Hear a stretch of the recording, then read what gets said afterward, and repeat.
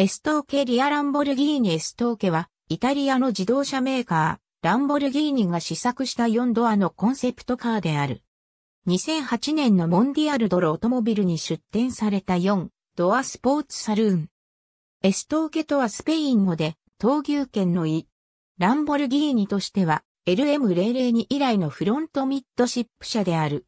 エンジンは、ガヤルドの 5204ccV 型10、気筒エンジンを搭載し、最高出力 560PS を発生。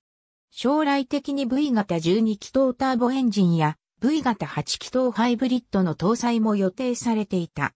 アルミニウム製のスペースフレーム車種は、次期、アウディ A8 と共有している。2009年3月22日、エストーケの生産計画がキャンセルされたと報じられた。